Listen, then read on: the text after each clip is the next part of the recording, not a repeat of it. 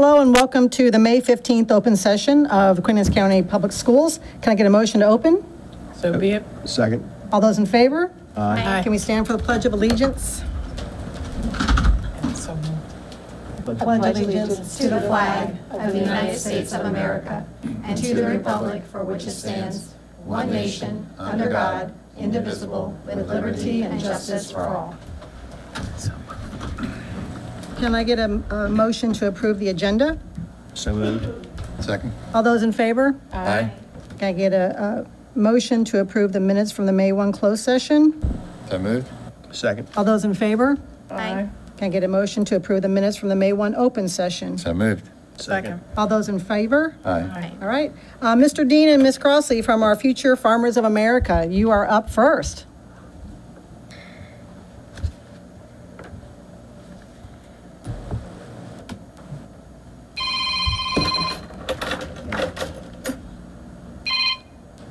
Uh, good evening. My name is Alyssa Crosley, and I'm the president of the Queen Anne's County FFA chapter.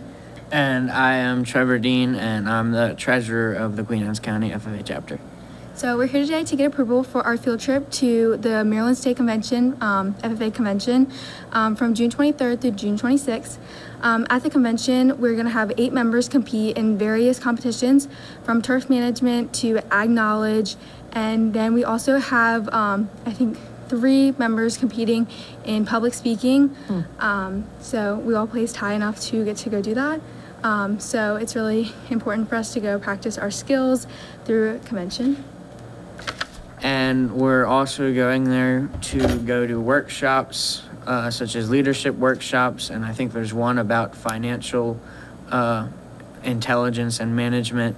And then there's some farm tours we could go to, all to uh, broaden ideas and knowledge about careers within the agricultural industry. Well, that sounds great. Any questions, comments? Okay, can I get a motion? Make a motion to approve the field trip for Maryland FFA State Cha- Convention. Second. All those in favor? Aye. Aye. All right, have fun, learn a lot. Thank, thank you all for coming in. Thank you.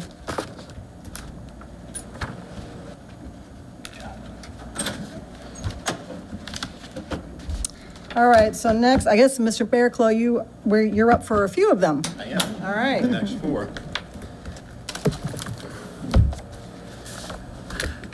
Good evening, President Bennett, Vice President Bent, board members, Superintendent Saelens, executive team.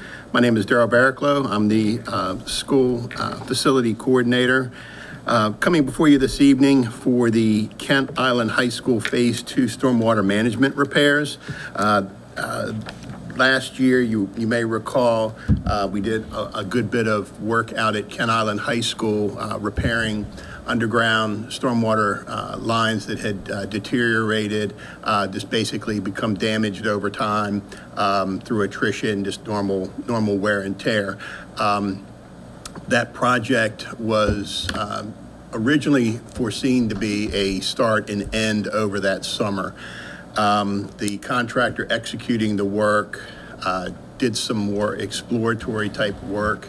We found a lot more damage than, than, and and repairs that were needed than what were, were expected out there. So, uh, working closely with um, DPW, uh, we developed uh, basically a scope for phase two of the work um, and utilizing the same contractor and piggybacking onto the county contract, we're able to bring him back to do the next, uh, the next round of repairs that weren't able to be done last summer um, due to budget as well as timing. So this project um, would be the, uh, the second part of that, and we foresee this as being uh, all of the work that's necessary to be done so that next year, uh, FY '26, we can come in and do the, the milling and repaving and get that, that school looking as, as well as what uh, Queen Anne's County High School looks like. And this is, this is for uh, 25 capital.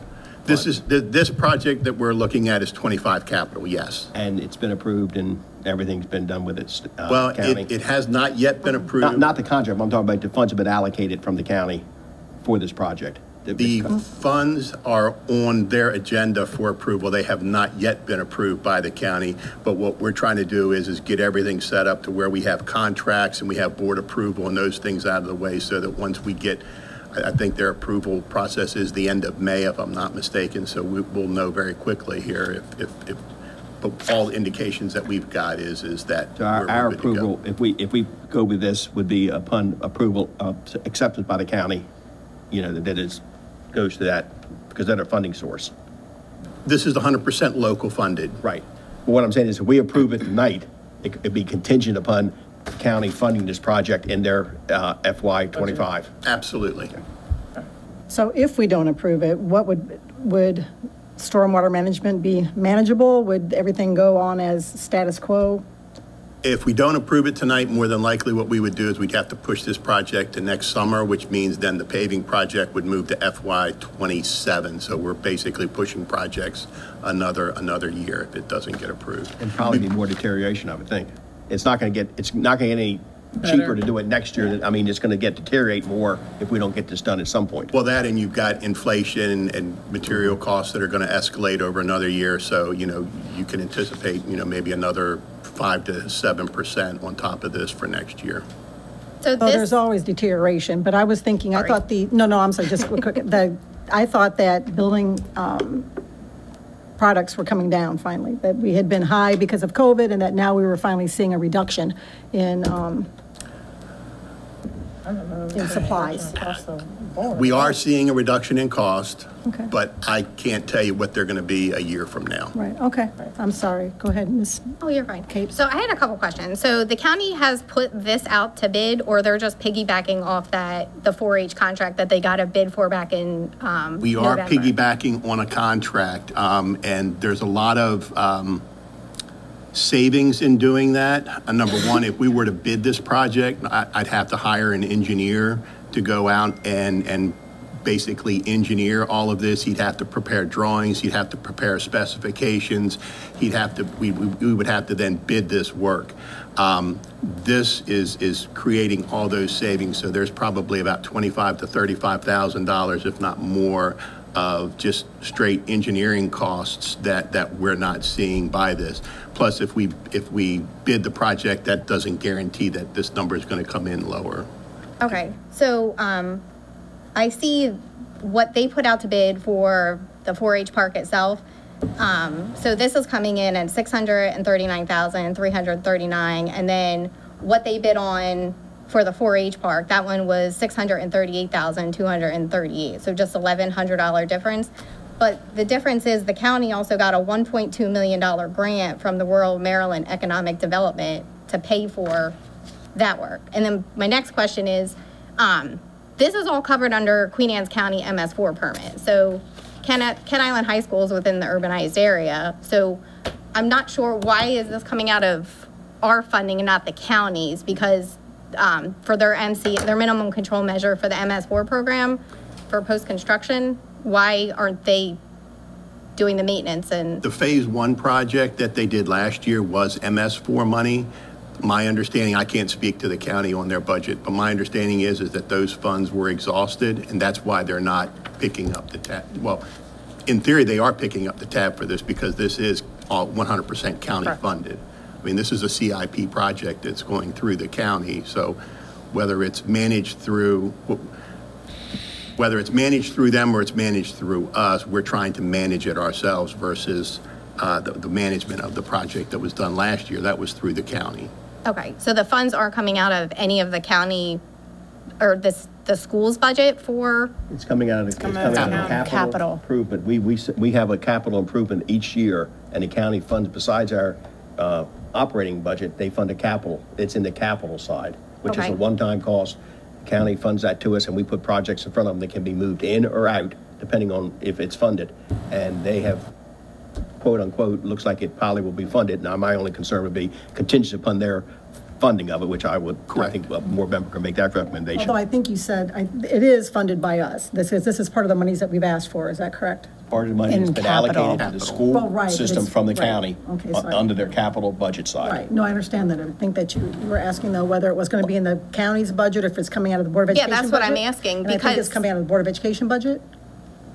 Well, it, it's county funded, so, so Right. regardless of whether it, it, it's, it's coming from capital, capital funds, county capital funds, regardless of whether, what we're trying to do is we're trying to manage this project. Correct. So regardless of whether, whether we're managing the project or the county is managing the project, it's still capital funds. It's not, but I guess to kind of put it a different way, if this project isn't awarded, we're not going to get $600,000 that we can do something else with.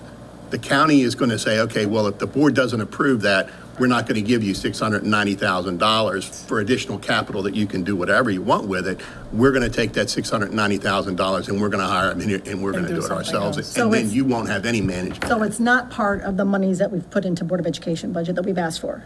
It's Is part of Not saying? capital operating money. It, This- this is capital. I understand that, okay. So yes, it's part of the This is, board's. this is part of Queen Anne's County Public Schools capital, local capital project Right. budget. The- The the county has put out a budget, which we'll have hearings on next week. Right. in our, in their budget, I, we're, they earmarked 5 million over our budget from this previous year. I'm going to use a number of 68 million they're funding us for operating budget. Correct. They've also got a thing in there for capital projects, which usually is around $3 million for certain projects. This year, they have a, a little bit more because you have a three-phase thing for paying the new board office. That's a capital thing, one-time cost that is, it, it's board, it goes to the board, but it's capital money that the county does a lot of capital projects. Right. And like you said, if we don't want to do this, and we think we shouldn't do this, they probably got other places they can spend this money.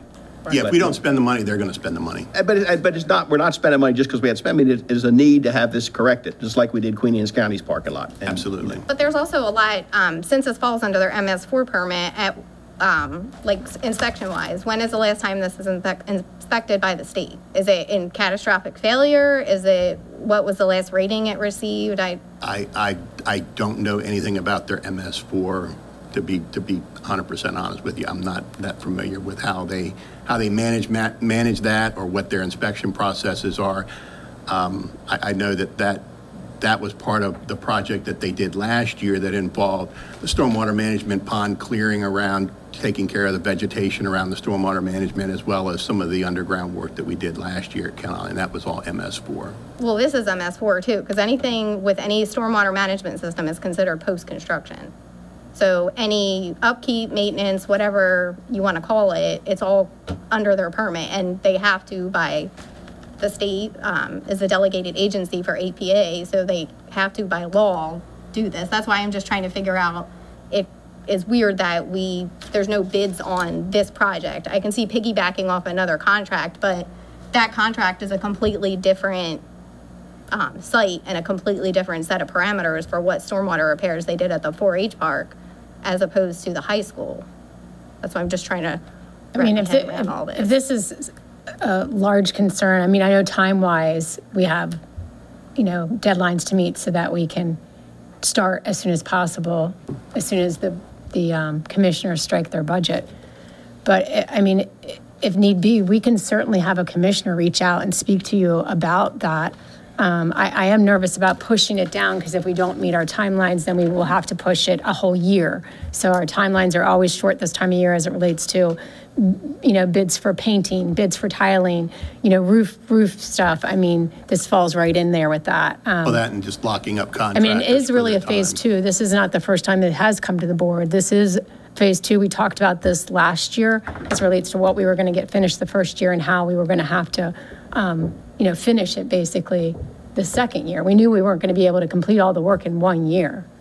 Well, I think last year, it was a county-managed project. So last year, the, the Phase One project did not come before the board because the way that the county was structuring and the way that the board was structuring a lot of capital projects, a lot of capital projects were being funded by the county as they would be as if they came to us, but the county was doing a lot of the management on their own terms and within their own in-house, so to speak. Like, uh, like the track project at Queen Anne's County High School, that was similarly done where the county basically um, bid that project out and they let the contract on that job. They basically handled all of the requisitions for pay- payment.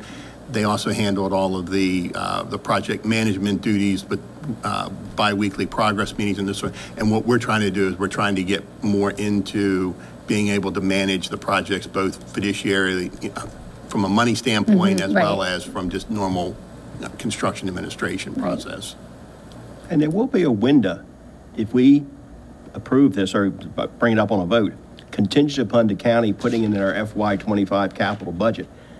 There'll be at least a week and probably more that any board member can talk to any county commissioner and say, I got concerns, this is not right, mm-hmm. to push it back. And they can do that. And if they don't fund us, we're not going to do it because, because I- I'm not going to vote on something that's not contingent because the money's not there until the county approves it. And it's not coming out of our operating, it's coming out of the capital, which has not been approved for 25 for the, for the county. Correct. Right, so the bottom line is, if we approve this tonight, and then the county commissioners approve it, we're not cutting any teacher slots to pay for it, right? Okay. point, absolutely Let's make that not. clear. Thank you. Um, and it's going to be designated specifically for that, so, If it- Correct, If and- this and is not included, dovetailing. Right, and if this is not approved and, uh, and included in their um, budget, we will not be pursuing and moving Right. forward with that. Okay. We Well, certainly and- don't and that's- have the funds to do that. That's what I was going to say, is is that if, if we don't move forward with approving the 607, or whatever the, the, the the total is with the dollar amount, it's not as though we're going to have that money to be able to allocate somewhere else, Right. especially shifting it to operations. Oh, no, I mean, no, we of would, we course would not. not be able to do that pretty much on, on any project, but, um, you know, I know the county, if, if we're not going to move forward with it, the county's going to just basically pull that money back. Yep. Madam President, could I make a motion to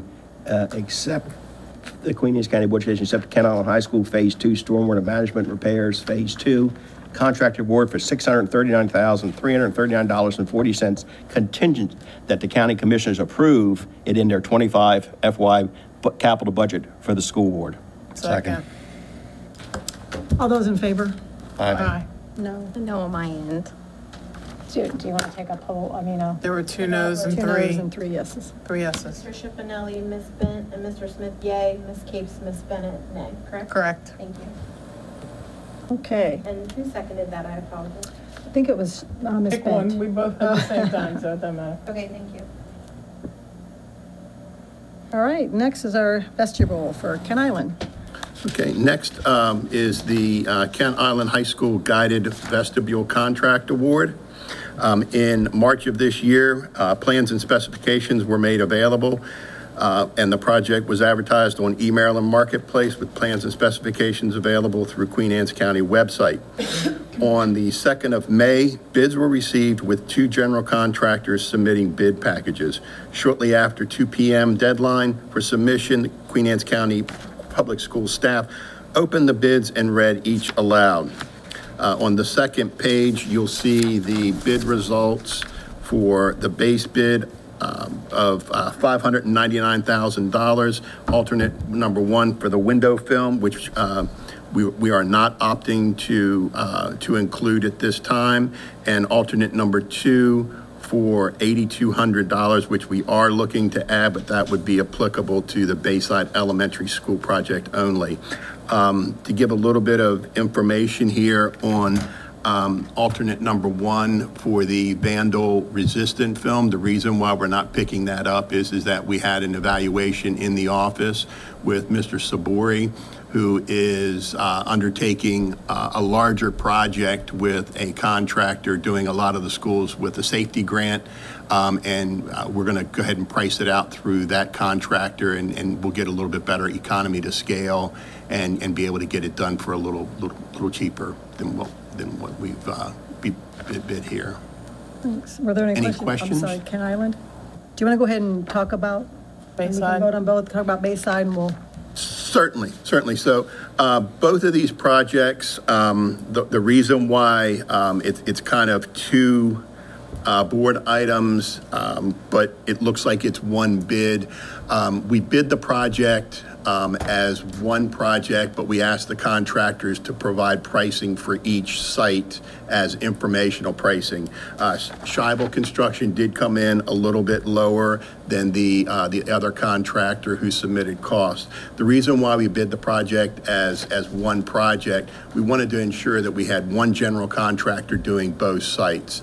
Um, the thought process behind that was, again, um, both projects just in and of themselves are kind of small in nature, and we wanted to give a, a contractor a sense of, you know, if they get a job, they're going to get a job that's going to be half a million dollars worth of work, not a small project that's going to be half that cost, and they might lose out on the second one, and they might not have that that that same economy um, coming across. The, um, also. Um, If we were to do two projects, we, we have the potential for having two general contractors. That's going to basically mean I'm, I'm paying the architect double the amount of money on his construction administration services. We're going to have twice as many submittals to review. We've got double the progress meetings. He has to attend a progress meeting every two weeks, so we're going to have to pay him accordingly for that. So the project was assembled as kind of a one project with two separate costs. And the reason why there are two separate costs is, is that the county has funded this as two separate projects.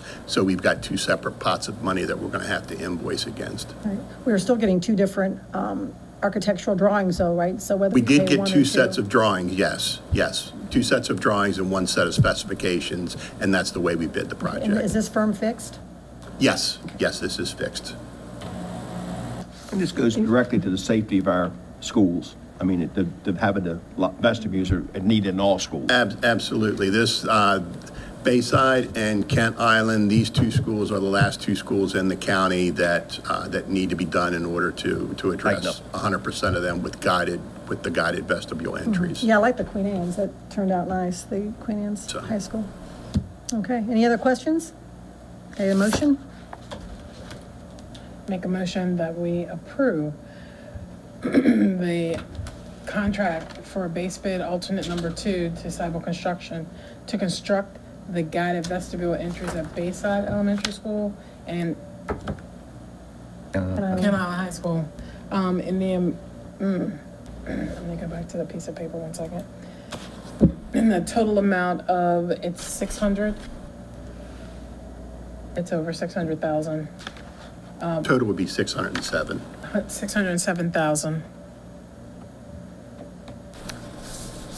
Second. All those in favor? Aye. Thank you. All right, moving on. Video management? Okay, uh, last one up is the uh, replacement of the video management software system that we currently utilize at the school system. Um, We we basically have a um, system here at, at Queen Anne's County Public Schools that has reached its end of life. Uh, The manufacturer of that system, we've been told, is not doing any service updates on that system, so we started exploring alternate manufacturers to, uh, to come in and provide a new system. Um, Along with providing a new video management system, we wanted to take the opportunity, since we were bidding the project, we wanted to take the opportunity to put out several unit price uh, line items. And what we're looking to do is, is, or what we did get, was we got pricing for several different um, cameras that we can uh, install throughout school system, as well as different card access features, the intercom system, um, wiring, conduit, other things that might happen uh, through the normal execution of work. So what we did was we put together a uh, base bid price for the video management system conversion, uh, which you'll see the, uh, on on the bid tab. We did have two contractors submit uh, their statement of qualifications, uh, their technical qualifications, as well as their proposal numbers, and their proposal numbers are what's shown on the second page. Um, Skyline Technology Solutions, who is, who just happens to be our current vendor that we're getting uh, materials from, we're we're piggybacking on uh, other county projects. We're utilizing them currently. This would give us a standalone project that is with Queen Anne's County, solely Queen Anne's County Public Schools. It gives us the opportunity to pretty much put a scope together, look at what the scope of work is, determine a rough order of magnitude of what we think those costs are going to be so that we can begin projecting what we, what we believe costs are going to be for, for future work. Um, But as you can see through the line items, um, uh, Skyline Technologies is low on, um, I, pretty much every one of the line items with the exception of maybe the, um, the device installation, which was line 18, but all the other costs are, are low. Um, So what we would do over this summer, we would complete the conversion of the software management system. But what this project would do is, is the unit costs, numbers one through, uh, one through 20, they're, they have to hold that pricing for one, one full year. So that would be July 1 to June 30, they hold that pricing. Then next year, they have the opportunity to look at their uh, pricing, look at what inflation is doing. They have the opportunity to adjust their price, but their, their adjustment is solely based upon the consumer price index. There's, there's instruments in the specification that, that tell them what they can and cannot increase by percentages. Um, But at the same point in time, it would have to be a mutually agreed upon price. I mean, they, they would come with pricing, we would either agree to it or disagree to it. And if uh, we do agree to the pricing, we can extend this for another year, and then it, it would uh, then sunset two years out. So we have this opportunity for three years. So the, the company that we currently have is what company? Skyline, Skyline is who we currently have now. yes. Okay. What's the life expectancy of this, this new system? Pardon? What's the life expectancy of this new system? You- we have a Um, Well, the it? life, ex- um, well, it's, it's a software, so there's really nothing that um, is going to break per se that would need to be replaced, but software, it's just like everything else, goes through constant updates and, and different evolutions of, of I mean, do we think we can, li- I mean, five years, I, I know, you don't know, things change, things can change tomorrow, but. Well, It's, this it's, it's not, a system- it's not a two-year thing. No, no, no. This system, um, um, Genetec has been in operation for decades, and I don't s- foresee them going anywhere. Um, They've been Genetec for 10 years. They're going to be Genetec for another 10 years, I would venture to say. Um, They, um, this program is a program that is specific to uh, K through 12 uh, education platform. And what they do is, is they give a very reduced rate on the uh, initial installation, and it's a five-year um, service maintenance agreement. So if we have any issues with a camera not syncing up correctly, or if we have a bug in the system that we can't take care of on our own. We have five years' worth of telephone support as well as other types of support that they can do.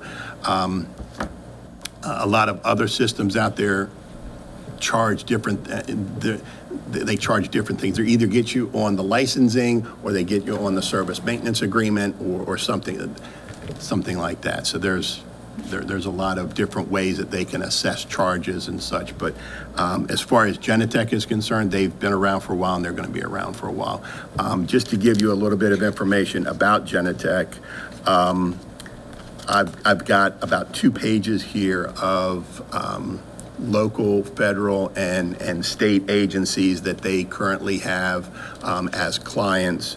Um, Within, just in, within just Maryland, uh, four public school systems, uh, county school systems within Maryland are utilizing Genetec. Uh, Virginia, they have 15 count- uh, counties or jurisdictions that are, and that's just public K through 12. And there's tens of twenties that, that, that, yeah, there, there's quite, a- they're, they're, they're a pretty well-known name in the, in the industry. I have a question. So I just got me thinking when you said it's, our system has reached its end of life. Um, and we received an email before from, I don't, I just brought it up. Elder? Um, tr- Elder was his yeah, I had asked you and, um, you said that was a solicitation.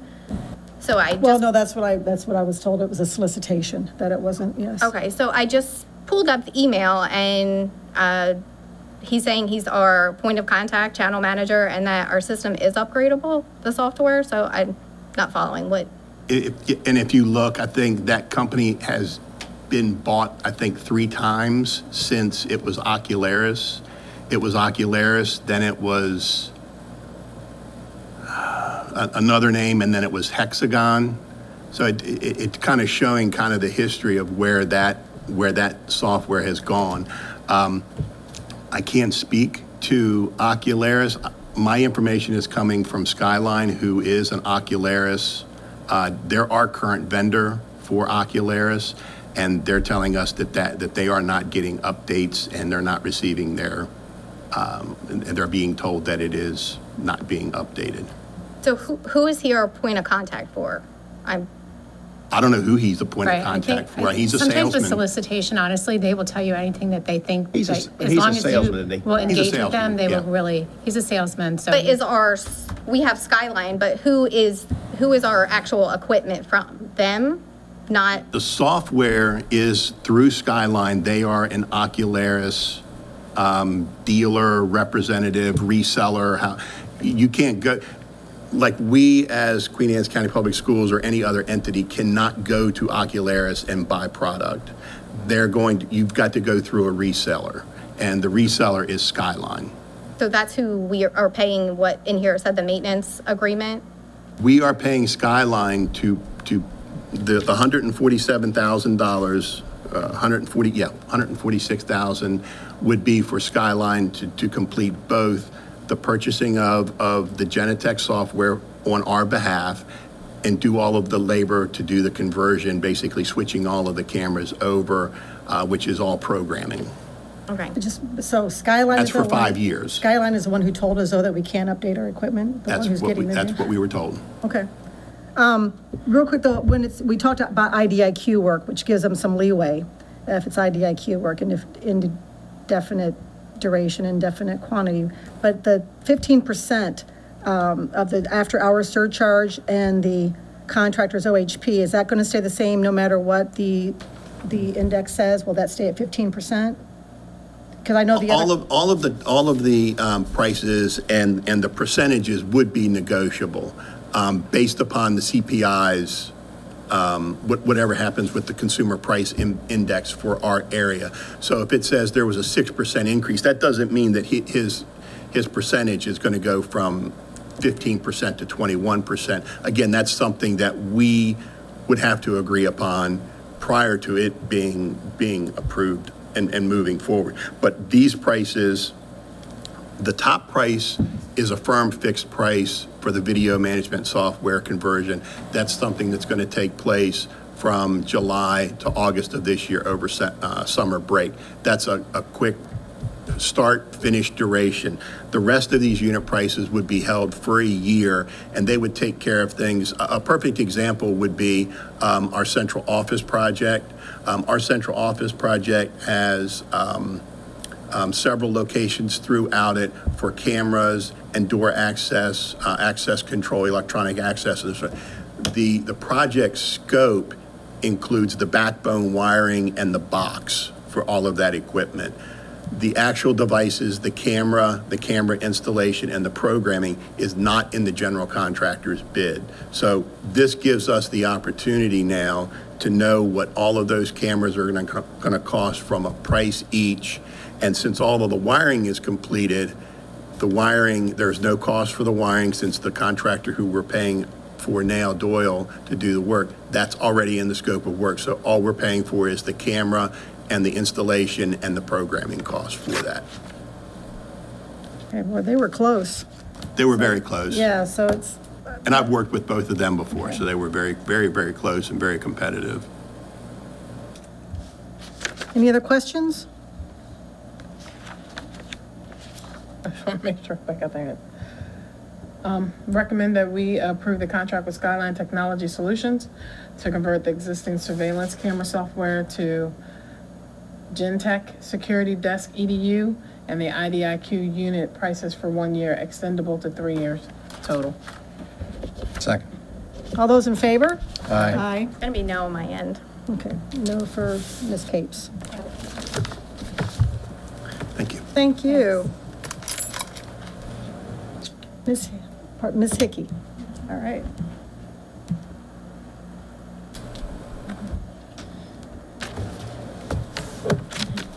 Good evening, President Bennett, Dr. Saelens, board members, and executive team. For the record, I'm Julie Hickey, Coordinator of Food Service.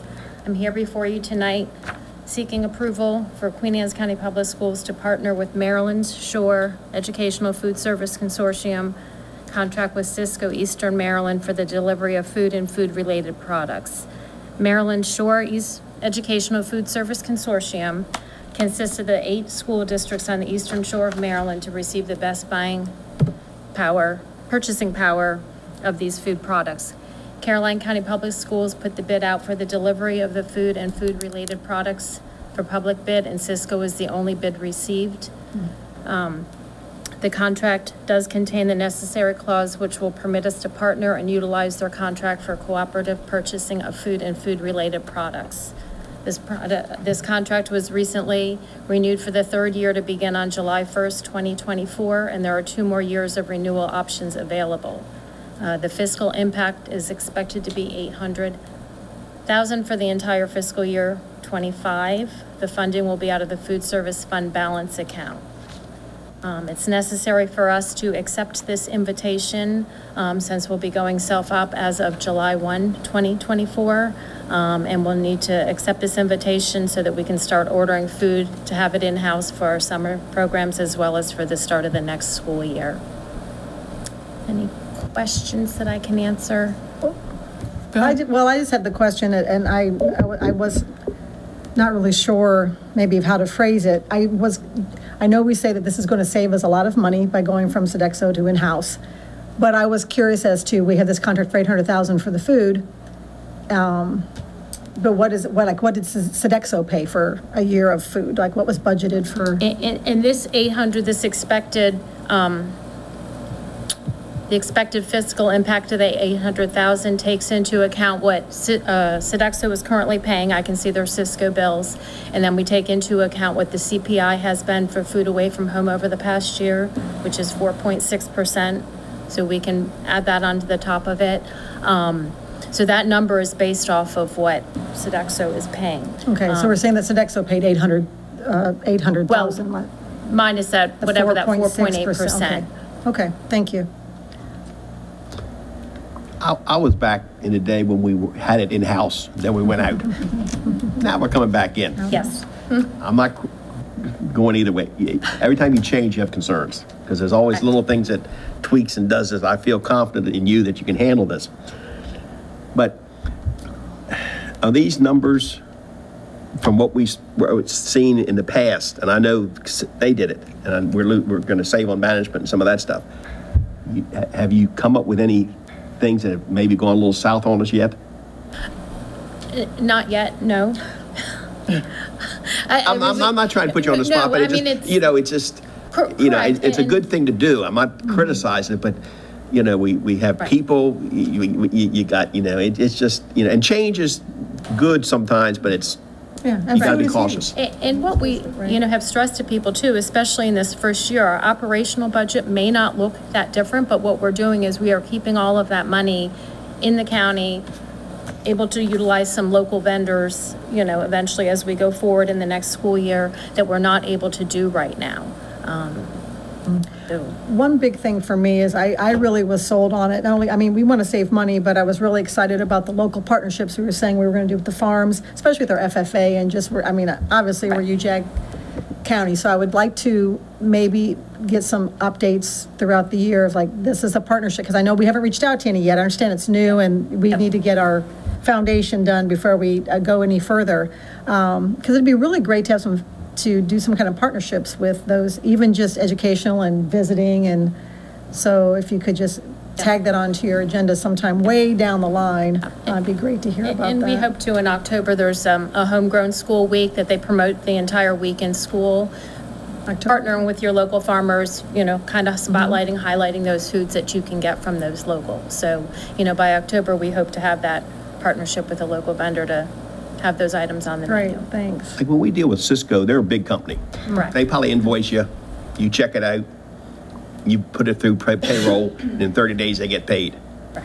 A local vendor that's a small farmer, we have the ability to sit there when we buy something from them, to be a more hands-on and quicker, because, you know, some of these people, when they sell you something, they're not, wa- they're not a banker.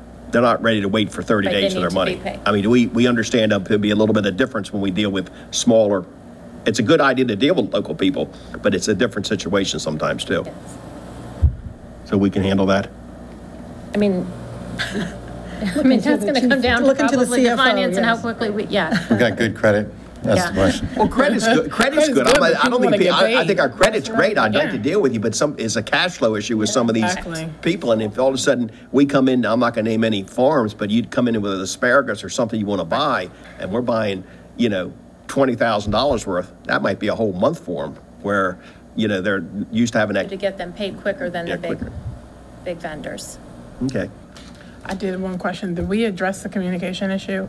We had a young lady that showed up to ask about keeping all of the staff. Correct. And I thought that we had already fixed that. Have we completed or talk to them so that they now understand what the situation is? We had actually talked to them prior to that meeting. They all had an opportunity to come after they were informed of the um, converting to self-op. We held a meeting on that Wednesday after. Um, They were made aware of it. They were all given the opportunity to come, and we did explain to them that there are no hourly positions being cut, and they're all encouraged to reapply when the positions become available. But yeah, there are no, no, no intention to cut any hourly staff. The people that are in the kitchens right now, the number of people that are there are the number of people that are needed to run those kitchens. Thank you. Just want to make sure. Mm-hmm. Yep, and they've all been given my name, number to call with additional questions, but yeah, we, I, we've addressed it and, Very good. yep. Thanks. Mm-hmm. Any other questions? Hmm. Recommend we approve the partnership with the Maryland Shore Educational Fund Service Consortium, contract with Sysco Eastern Maryland LLC for the delivery of food and food-related items. Second. All those in favor? Aye. Aye. Okay, next. Okay. Uh, Next, I'm seeking approval for Queen Anne's County Public Schools to piggyback on the Maryland Shore Educational Food Service Consortium's milk contract with Cloverland Dairy. Um, In order to function as self-operational, Queen Anne's County Public Schools will need to establish a contract with a vendor to provide milk in order to serve meals that are in compliance with the National School Lunch Program and National School Breakfast Program's federal guidelines. Um, Our milk products are cur- currently procured through our food service management contract. Um, County Public Schools put the bid for the delivery of milk out to public bid. The contract contains the piggyback clause, which permits us to utilize the Wacomico County Public Schools contract for purchasing milk and all other items listed on that proposal. Um, This contract is in effect until June 30th, 2026, unless terminated by the Wacomico County Public School Board. Um, The fiscal impact is expected to be $190,000 for the entire fiscal year '25. The funding will be out of the food service fund balance account. How, lo- how much notice must they give us if they decide to terminate the contract? I will have to get that answer for you. Okay. 'Cause I, I don't want us to be, And what, what, what, what's our, uh, game plan if they if- do? Yeah. If they do, con- you know, Wicomico's fine, Right. and it's good doing, it, I s- like it this way, but if they go, something goes wrong with them, all of a sudden, boom, and we Yeah. have a, a, a exit plan or, you know, another plan to get- make sure we can get it somewhere. I- I mean, we would continue, Cloverland is the only milk I was gonna say, they're the only ones, and they've been I- I mean, around we're since running when I into- was I in mean, there's school. not Cloverland is many- the only farm, only, I'm Bill sorry, delivery. farm. Uh, Cloverland is the only one that has K-12 compliant milk products. Right. okay. Yeah, and it has been that way, for- as I For- said, since I was in school, Yeah. for sure. And and Cloverland is our current milk provider as well, so I mean, it's just going to be with a different So wouldn't that, contract. wouldn't that be hard to do a separate contract directly with them? Correct, it would not. And, and I have been in touch both with Cloverland, Sysco. I mean, they, I get, um, they actually were in touch with me as soon as they heard that, um, the Sodexo contract was ending. So, yeah, we, we, there's really no options as far as your Sysco, your big vendor, and your Cloverland for your We dairy just have so vendor. dairy I mean, farms, it's interesting that. Are we they're making bothered Not, provision? not I mean, I many can people want see- to be in You can see the little milk cartons, because they have not even changed the milk cartons. Right, Correct. forever. They're not two Forever. cents anymore though, Well, they right? have this year because of the cardboard You're shortage. dating You've yourself. seen Yeah, them. They've that's packaged them in true. whatever uh, Somebody got cardboard they can find. But Find, yes, right. I mean, otherwise, but yeah, they're, it's all specially formulated for K-12. It's nothing that you're going to find Here anywhere Three else. cents, I get two for five. Well, you were so funny. If we contracted with them directly, the price would be higher? We don't know that. Our pricing actually is on our white milk half pints is actually going to be better with the current piggybacking than it is Right. with Sodexo right now. So the, I guess the question is, are we preparing ourselves that should they get out of the contract and we have to go directly with them, we can accommodate the difference? Yes, uh, yep, because again, we figured in that CPI, Okay, yep, I was going to say. Hmm. sure, our kids are covered Yeah, well, it probably wouldn't hurt to just even say, what would it be if we contracted directly, directly? you know, Just so we have yeah. that to work on, mm-hmm. since it would be within, you know, anyway. Are there any other questions? Mm. Just, uh, recommend the approval of the piggyback of Maryland's Shore Educational Food Service Consortium milk contract with Cloverland Dairy. Second. All those in favor? Aye. Okay, thank you very much. Thank you. All right, so I don't, I'm not seeing Mr., Mr. Page is not, I think. oh, Mr. Kibble, Dr. okay. Dr. Dr. Kibler. Sorry. last minute substitution. Okay. If that's okay. From the Yeah. 18. That's right. There you go. Tap in. Uh, So good evening, uh, President Bennett, Dr. Saelens, board members, executive team, uh, Dr. Matthew Kibler, Assistant Superintendent. So what I'm bringing uh, to you tonight for a vote is our prolonged state of emergency virtual education plan. This comes as a result of legislation passed in the 2023 uh, Maryland General Assembly session. Uh, basically, there was a law passed. It had three components around virtual education. It had uh, what we're talking about here tonight, the prolonged state of emergency virtual education plan. Um, some guidelines if we wanted to have virtual education for like a snow day or something like that. And then the third piece was around um, having just a virtual education school, uh, sort of like our, our BVP, frankly. But um, so this piece that we're talking about tonight, what we have to do is have a board approved plan guidelines for I'm going to read by definition a prolonged state of emergency, and that means a state of emergency declared by the governor under Title 14 of the Public Safety Article that prevents regular in person attendance at a public school for at least 14 consecutive days. So it's basically getting us ready if the 100 year COVID event would happen again or something like that. Um, so we have to have something that we're ready to uh, pivot to. The plan that you'll see tonight, that if you reviewed, it basically uh, will look like our first iteration of the COVID plan we had three years ago. The recovery and reopening plan was the document that uh, we had named back in 2020. Um, when you read through it, it is vague. It's intentionally vague because we don't know what prolonged state of emergency we're talking about. There is um, language in the law that the county school board may adjust the virtual education plan to fit the specific needs of the schools affected in the specific circumstances of the emergency. We don't know if it's going to be because of a flood, a hurricane, just a, some other sort of power outage. Would it be COVID again? Um, so that's, that's why you see it as written now. There was not a lot of guidance from the state on what needs to be included, so this is kind of minimal and bare bones. We have to have a board-approved plan to submit to the state by June 1st. They will review it, and if it's not what they were thinking, they will bring it back to us, and we can edit and, and resubmit. But it was an extremely uh, tight turnaround for us. As you know, I sat in the seat April 22nd, found out this had to be board-approved and submitted by June 1st. So here we are. Yeah. No, I was very much appreciative that it was very open-ended for um, us to make the best decisions, for, you know, your executive team to make the best decisions.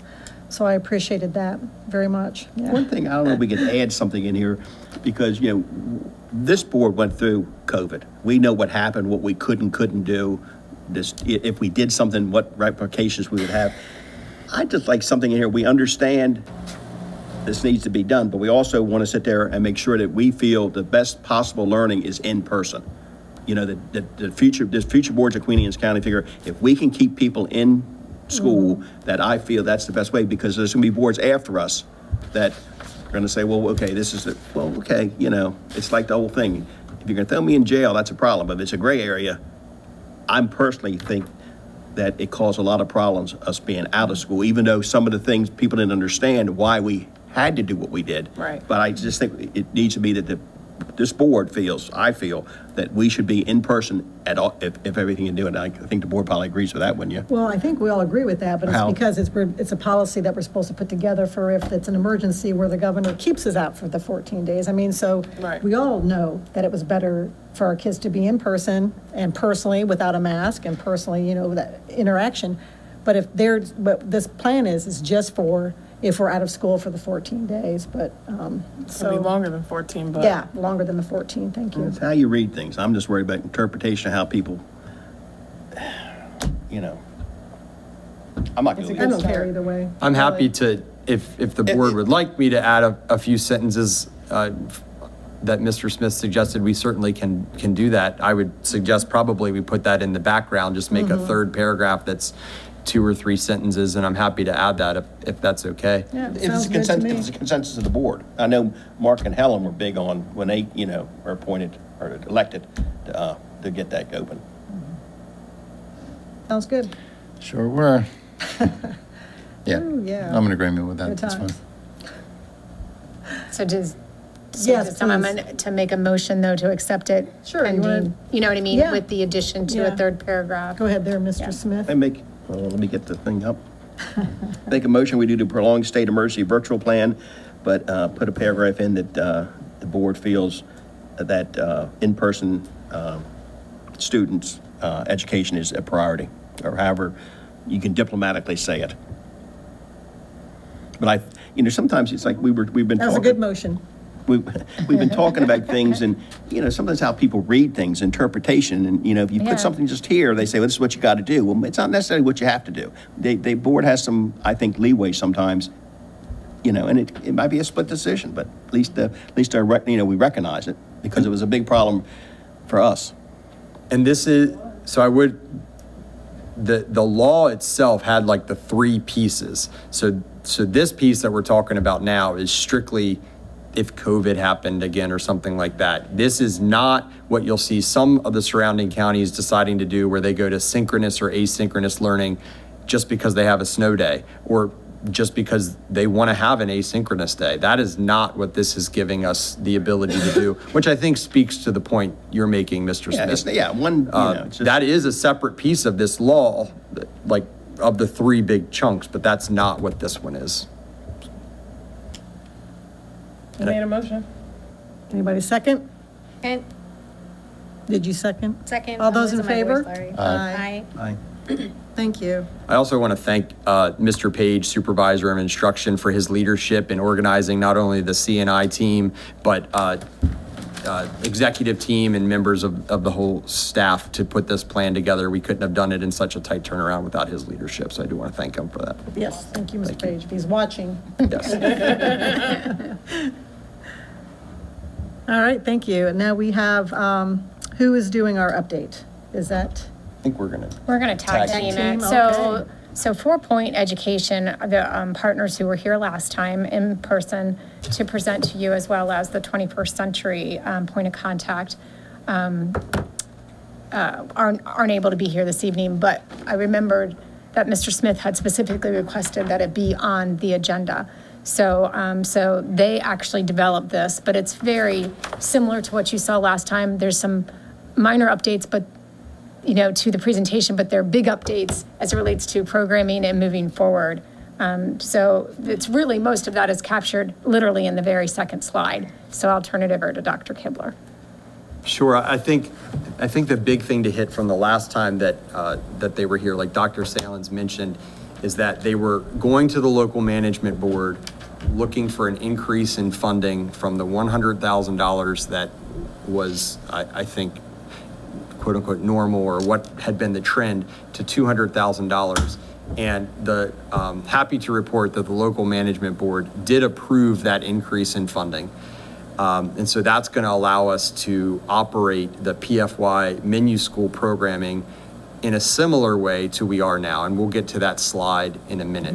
But it basically means the schools that have the out-of-school time programs this year are going to continue to be able to have those out-of-school time programs next year.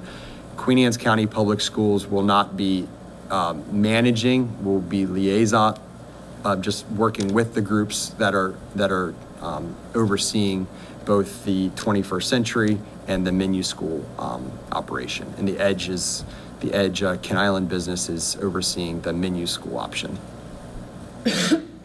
We will be partnering with messaging um, to faculty, staff, and, and families.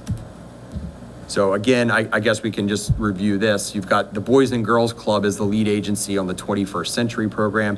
They, um, at last update, still have not heard back about their grant award.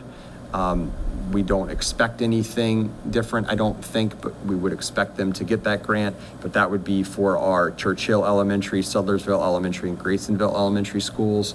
And then the PFY menu school option, the lead agency there is the Edge. Uh, that's um, Kennard Elementary, Matapeake Elementary, Sudlersville Middle, Matapeake Middle, Stevensville Middle, and Centreville Middle. Just a quick question. So if by chance they weren't to get that grant, um, what would our programming look like on that Which piece? grant? Which one? The 21st 400,000. century? Yeah, The one that's 21st, not- yeah. Well, I, The one that we're waiting on. I don't think we'll get the full 400,000. We, we typically don't. We ask for what we need, and we already have some provisions in working with them to look at, you know, transportation is a huge part of that s- and would Elevator. likely be removed from the grant in order to provide that.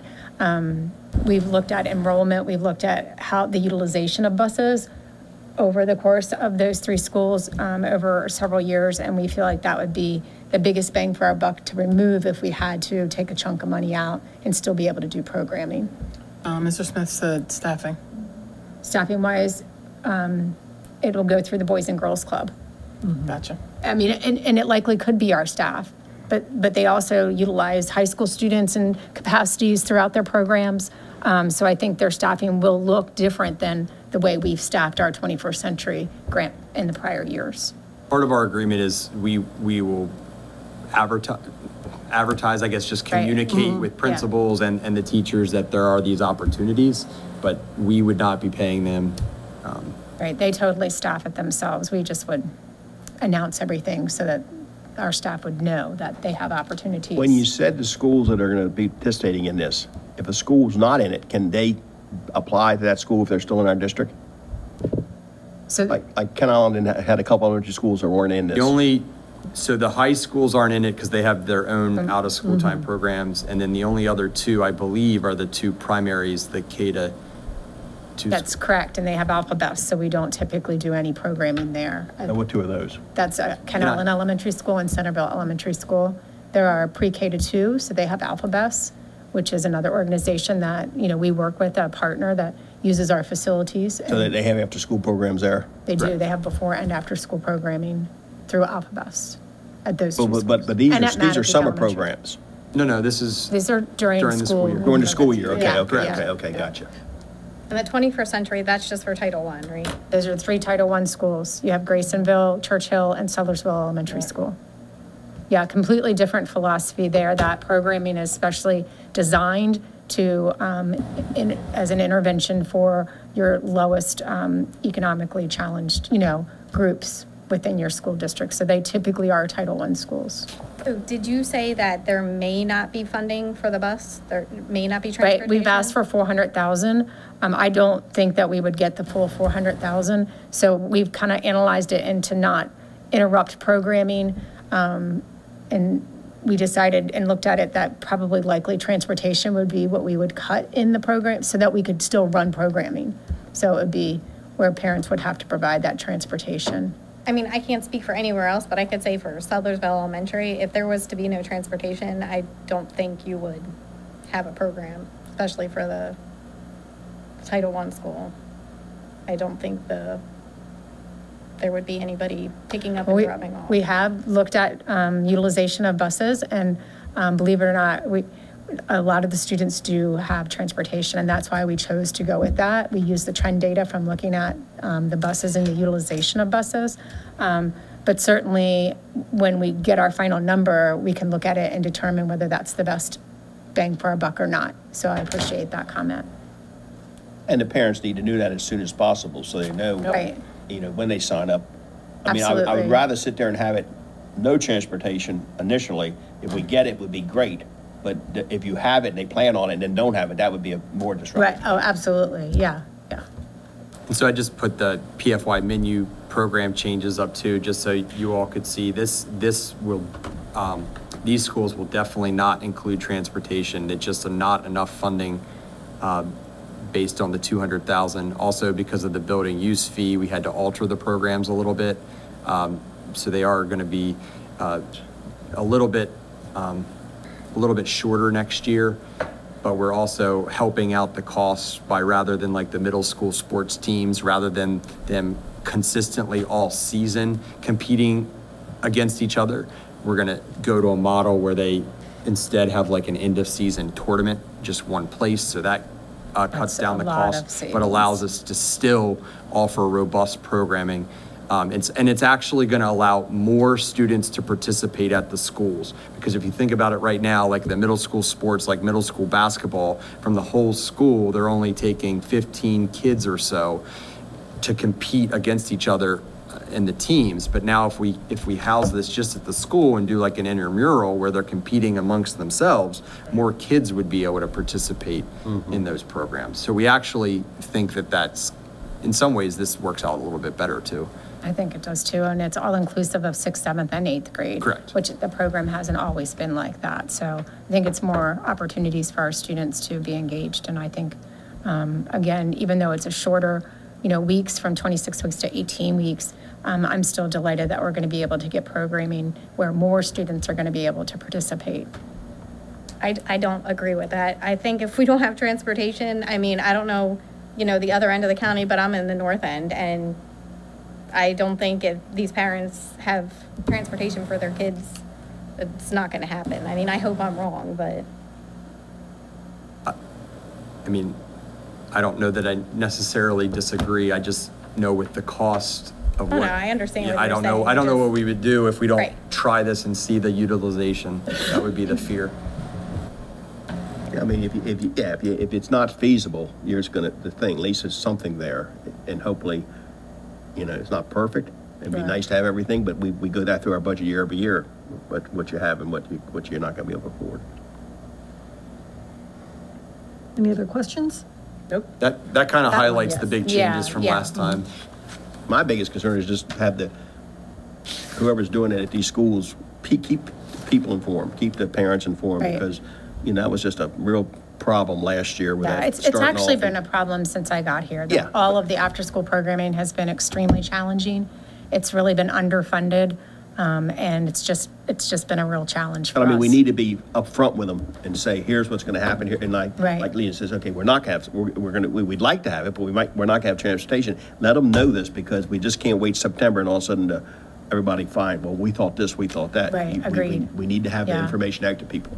Part of what Four Points is working on that we kind of glossed over is a communication plan to families, and that will include just sort of that QACPS is um, handing this off to the outside agencies and, and will be coming from them too. Yeah.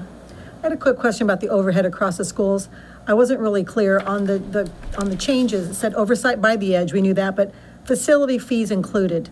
Is that the facility fees to use our, that they're paying to use our? Yes. Okay. Okay. That's correct. Just like Based Alpha our- Best pays, right, Parks and okay. Recs pays, Okay. the Edge would have to pay as well. And that was, that was part of the, um, the shortening to include that. Okay. Is that the same thing under contract services where it says summer building use? Uh, page four, under the 24, 25 changes.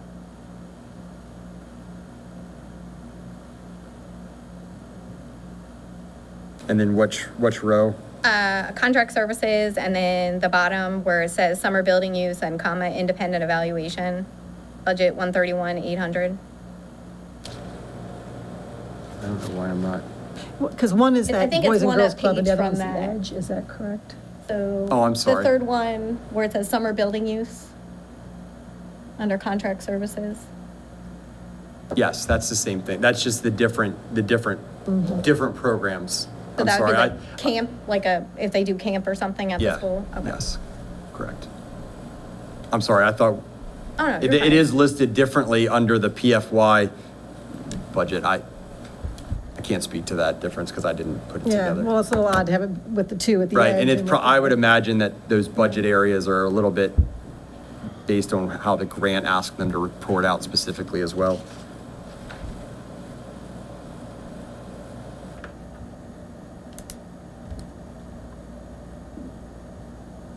Any other questions? I do have one question about the roles and responsibilities, just to have the um, oversight for the programs here on, on, on, on school property. Because I know that it says that we're doing the coordination of the use of space and stuff, but the Edge and the Boys and Girls Club, is there some oversight for us to them to see how the programming is going? Are they submitting a program? There's an evaluation. Yep, there's, it's, um, actually the 21st Century, it's written in their grant, and the LMB board actually, um, requested specific, um, checkpoints and data. And they'll be working with, um, John Grow as it relates to any of those dating reporting. Yeah, but 21st Century, it's a, it's like, it's a lot. The 21st Century grant is a lot of reporting. The LMB obviously is not quite as extensive, but they still are requiring it as part of the $200,000. Okay. So if you look at the, the second bullet under school district, data sharing and the supporting the program reporting, that's getting right at what, what your, your point is, your question is. And that'll be, um, so our new supervisor that we're bringing on, Dr. Jennifer Schreckengoss, um, Mr. John Grow, um, the supervisor of accountability and myself will all be part of the, um, QACPS leadership team with this, helping with that reporting and, and just evaluating the program. And, and frankly, part of that will be getting to your point, Ms. Capes, about utilization at the different schools.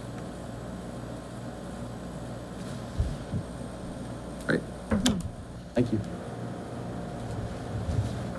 Thank you. Okay. Ms. Smith for iReady. She's been back there ready.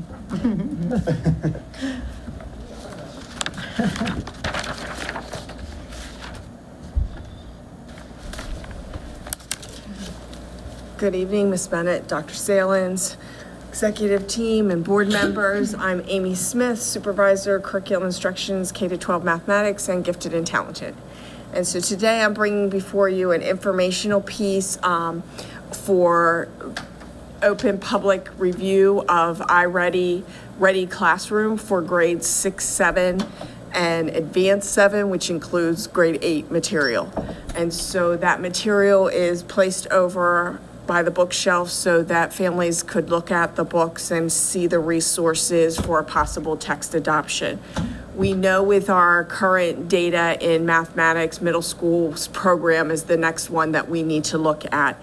And we are currently on a year-to-year renewal contract with the resources that we have in place. So we investigated and put a um, search out for different texts that are available. I created a team of teachers and community members to come and review several different texts aligning with the standards that we're assessed on and looking at the materials we currently have to find what would be the best and most cost-efficient um, resources to kind of redirect some of our instructional practices within the classroom. Um, the, there was three books that the the teachers narrowed it down to. We piloted two in the spring.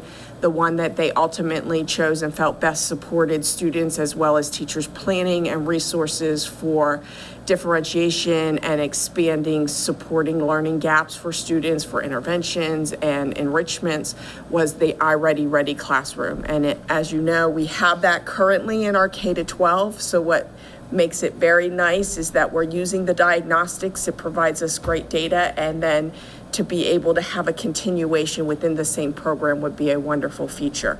So right now, this is just information so that it's out for public review because we know adoptions have to have 30-day opportunity for parents and community members to look at resources if they would like.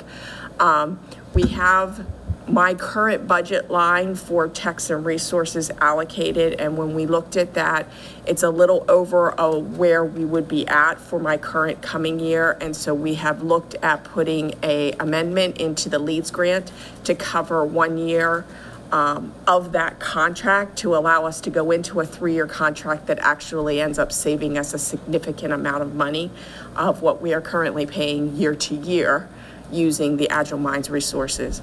Um, and I've come to you every year with our year-to-year renewal going, please recognize that this year, if If the amendment is not approved, then we will continue forward with our current resources that we have. But The pricing from last year is about an 8% increase of where it was last year, and it's continuing to go up every time you go as just a year-to-year contract. Um, If it does not happen, at least we've gone through all the process so that hopefully with my next year's budget, then we would be able to move forward with a middle school full-fledged adoption. But we needed to make sure we have everything in place um, if the LEADS Grant amendment comes in. Do you mind me asking, the, the people that were on your team, you said you had some uh, citizens, just some from the community. So were there any that the, several of the teachers that were in, involved are also parents with kid, students in the middle school area. Um, I did not have anyone who kind of came forward and said that they could willingly come in and, um, outside beyond that. That's why we also make that available so that individuals can take a look at, at the resources. Thank you. You said you, amendment to the LEADS grant. Yes. If we do that, then that will be a reoccurring cost for the future budgets. So the re, we have the reoccurring cost with our current resources that we have. This puts us in a three-year contract, so it would be paid with my current mathematics budget for July 1. Okay. And the extra in leads allows us to go in a three-year lower price contract. And out of the textbooks that were selected, I had gotten quotes. I was pleasantly surprised, and part of which is because we are in a K to five contract with the company already. This bid was significantly less than even the other textbooks that I already bypassed all of the approvals of the, the teachers at all the different combinations. I had special educators, I had general educators, I had the advanced teachers involved in it, um, and what, how they reviewed and, and responded to the resources, and the students within the classroom responded. If it's replacing something else, like, I see that, you know, Mm-hmm. because, you know, we're doing this, it's just, we're sensitive up here right now. I- for- I for- For grant, for using grant money for something, and then all of a sudden it run out, and somebody say, wait a second, it's I- not there. And that, and you know, if we have good reasoning and why it's going to move over, Yep. n- most people don't understand it, but, you know, we got to do our due diligence to make sure that No, we're I physically, absolutely. you know. And But I that's did hear part you of. say we're going to save money, though, if we do that, right? Yes, After the- and, By doing a and multi because at this point, then I don't have to do, it. I won't have to be here every year saying I need to renew my grade six and seven. Um, the other feature is, come the end of next school year, my eighth grade text is then ended its contract. And by doing this, I've already discussed with the company of then being able to bring in eighth grade as well within our contract. And that's within my annual budget line for my text resources.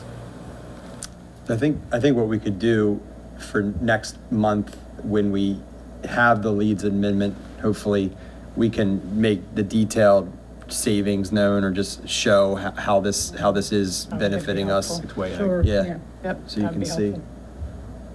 Well, and, and I, and just to give you an idea, we are about twenty-five thousand over my allotted money that's currently in my line for middle school, and that's for three years. Well, when you're talking about three years at twenty-five thousand extra just for this part, that's already a, a significant savings because this year, the pricing for it takes up what was initially allocated plus a little bit more, and next year's would go up and bypass that amount.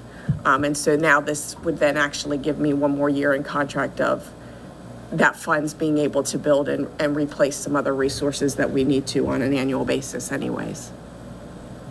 Any other questions for me? Thank you very much. Thank you. Have a great evening. Thanks for waiting.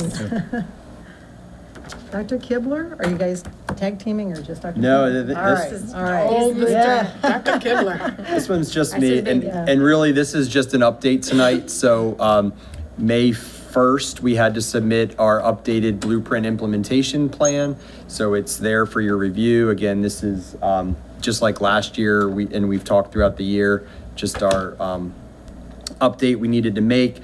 You- If you, if you do review it, you'll notice it's kind of broken into two sections. The first part is a district-wide implementation plan. It's about 10 pages, and then after that, it goes into our plans pillar by pillar. Uh, The first part, the first 10 pages had to be submitted on March 15th, I believe, and I am happy to report that we actually got the first 10 pages approved with no changes. So wow. that was, um, that was really exciting. So the, um, the rest of it is being reviewed now. It would be formally adopted by the AIB, just like last year sometime in July. We are expected to have to make edits back and forth, just like we did last year. But I wanted you to see what this first draft was uh, like right now. Hopefully, it's not a first draft. Hopefully, it's a final plan, but I, I don't know that we're that lucky. Is this on our website so people can take a look at, the- or do we have to wait until it's been? So they actually, they did it a little bit differently this year. As soon as we submitted to the state, it was live. Okay. So it's through the AIB site. So now it's on board docs as well as, as it's on the AIB's website. If you'd like me to link it in its current form on our website, I can. Last year, I think we waited till we had the final approved plan. We can't wait that, because I know that, you know, for anyone listening in, there's a lot of talk about the blueprint, and this will give you a lot of information. Sure. A lot of the mandates, a lot of the pillars, and it'll give you, I think, a lot of information that would be helpful. when I you're mean, listening to some of it- this. can we have something on our website to show them where to go to, to look at a draft? Of course. Since it- Yes. Since it's in the state, then we'll put it on ours Sure. once it's approved, Mm-hmm. because if they see it on us, they're gonna think it's ours. And- I don't, yeah, I don't, I don't remember off the top of my head if on the website when I, when we designed it, if we pointed to the AIB's site, but I certainly can ma- have. Well, at least, Please, yeah. if No, somebody I'll have it somebody, changed. or ask them, Sure, say, of "Look, go to course. that site, and then you can, No, I think that's a great idea. I, I just, I, I don't remember if we're there yet or not, but yeah, we'll make that change. Thank you. Thank you for that. Sure. Hopefully, no changes. It's perfect the way it is. All right, um, Ms. Gass, now, um, just to put out there for the budget book, we know that this was put on late, we, but we want to get this, and it's pressing, but of course, most of us are not going to have had any chance to have you reviewed this yet. Um, So we'll be coming back, I think, with questions and maybe at the next. Absolutely, we'll put it right back on the next Yeah, one. So we- if you want to yeah. pass out the hard copies, um, yes, it More was, it was homework. definitely late being posted. Our We understand, apologies for yeah, that. hot There's topic. been a hot, right, a hot topic and wanted to make sure that it was accurate and, um, Thank you. Looks costly. yes, Thank you. thanks, yes. Thank you. Oh, look at the cute The good news is, is that the format hasn't changed, so it'll be very familiar to you. Um, and, You know, there's been, um, Unfortunately, the only thing that changed is the bottom line. Yep, Yes. And just to, this um, is just support for the budget that you've already approved. So there's no changes. Oh, this reflects the budget that we, I've already approved, the draft budget that was already approved. That's- So there's no changes to the totals. This is it's just updated, support. to it's updated to uh, state, Yes, well, that's moved a little bit. yes, that's the only thing that has changed. And it's the 5 million that the, 5 million over last year what the county's doing. It's still the same, yes, correct. so just for the record, can you at least say? Sure, who- absolutely. sir, for the record, um, Dr. Saelens, Dr. Kibler, um, President Bennett, and Vice President Bent, members of the board, the executive team. Um, I'm Whitney Gass. This is the, um, an informational item for you as well. This is the details for the draft 25 budget that has been approved and sent to the county as well. Is this found on our website? It is not yet. Okay, It's on the board docs. It's on board Well, docs right now, but okay. Yeah, Just I want people to know to where to find this stuff, so that instead Sure. of, you know, guessing what we're doing, this is an opportunity Yeah, for you to go and see where this money is being applied. I was gonna say, but we can't put it out there until they approve our budget, right? I think. Well, we can put out our, pro- we can put out our proposed budget. I mean, we're here and Yes, open and. typically, Right, is we that have correct? put our Yeah. proposed budget out, but I wanted you to have the chance to review thank and you. agree. And then we can put out the proposed budget, and then the final budget will be once we receive the final numbers. So as you, as you flip, again, you're, you're not going to see any different formatting than you've seen before. You see the summary that you approved, then you'll see all of our revenues that are um, unrestricted funds, um, continue of revenues of what's restricted. Um, And then you'll see the approved budget from last year, side by side with the approved budget for this year, um, which I think will be helpful for the board to look at the different categories to see which ones. Now, I, I will say that, you know, at first, when I was reviewing it, you look at the, um, some of the overall salaries, and one of them not really increasing, I mean, not increasing significantly, and it's because we are predicted to have 53 less positions. So we have to take that into account as it relates to that salary line item. Um, Even though there are salary enhancements in that line item, it- the difference, you know, one would think it would be much, much different number, but it's because you're reducing your overall staff by 53. So we have to keep that in mind as we're looking at the numbers. You will see, um, And I'm sorry, can you repeat, Yes. um, remind me, how many positions are we losing because the grants are gone? 24. 24, okay, thank you. Yes, of course. Um, So the different categories, none of those categories have changed. They're all the same, and they're all broken down in exactly the same manner. You'll notice on the right-hand side that there is an approved increase or decrease, and that's what, as a board, I would, would um, ask you to- to specifically take note of. And when you have questions about either an increase or decrease, that would be a great opportunity for, for next time as we come together. Um, You'll notice that, the that when you get back to the, the categories um, such as transportation, operations of plant equipment, you'll notice that you'll see a lot of increases there, and that, that is that percentage that we put um, because of the trend data, and it hadn't been increased for many, many years, you'll see that we put those increases in there this year. Um, So that'll, that'll be the spot that you'll see most of those increases. Um, And you, you definitely won't see decreases in that area because of the cost of doing business. I have a quick question about farms. Um, I know that, because it's showing the comparison from last to 22 and 23, and it's a little bit lower um, this year with Churchill. The other ones seem pretty consistent, but are we back to our pre-COVID time? Because I know we had a really hard time getting people to sign up when everybody was getting their meals during COVID. Is that accurate? And so we were trying to make it easy for people to re-sign up for the farms program? You know, I, I wish Julie was still here because she really is the expert in Okay. that. But I will tell you that she, she did a- an a- amazing job of just pushing, pushing, pushing the schools to get the numbers where they are. So I don't know that I know the trends, but I know that she has um, definitely put a lot of time and energy into getting them. um, And obviously, we have, um, based on this information, we have Sudlersville Elementary School that is, you know, now a community school. And you'll, you'll notice that Churchill is very, very close. You'll also notice that Graysonville is um, fairly close, as well as Sudlersville Middle School. So those are some that we're looking at that we will continue to push to try to get those numbers um, as high as we can so that we can um, consider them a, commu- you know, we don't do the formula for the c- community schools. It's a formula that's there, and as soon as you meet that mark, they tell you, hey, you're a community school, and you get additional monies for that. So um, we're we're hopeful that we can continue to, to make those numbers grow. But I can certainly have Julie give you some trend data as it relates to what our farms numbers have been in every school over like a five-year period, if that's helpful. Yeah, yeah, well, I just knew it was a concern. It- it is a concern, yes. We can get this, you do. know, this money and. We absolutely Right. can, and it's significant money. I mean, this year for um, Sudlersville Elementary School, it's $273,000 that um, pays for a school um, community coordinator as well as um, a full-time nurse. And it also allows us to have extended hours in our school-based health center um, throughout the week uh, consistently for the community to come. Um, So that's, that's really big for parents who may not be able to get um, their child to um, healthcare during, during the school day. And um, it's great for sports physicals and vaccinations and other things like that, so.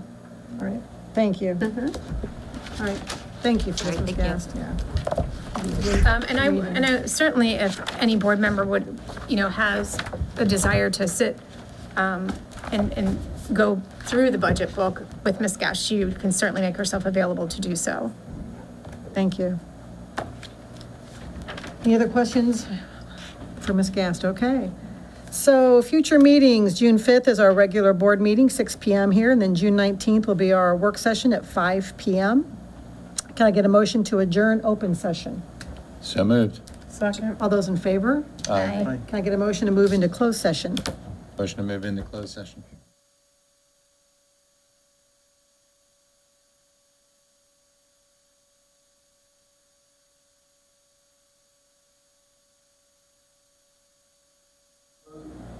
Well, we have to read why Why, we're, why they're going into closed session. Okay. Pursuant to the general provisions of Article 3-305 and 3-104, the Board of Education of Queen Anne's County will meet in closed session to discuss the appointment, employment, assignment, promotion, discipline, demotion, compensation, removal, resignation, or performance evaluation of appointees, employees, or officials over whom this public body has jurisdiction, any other personal matter that affects one or more specific individuals, and to conduct collective bargaining negotiations, or consider matters that relate to the negotiations. Okay, that's it.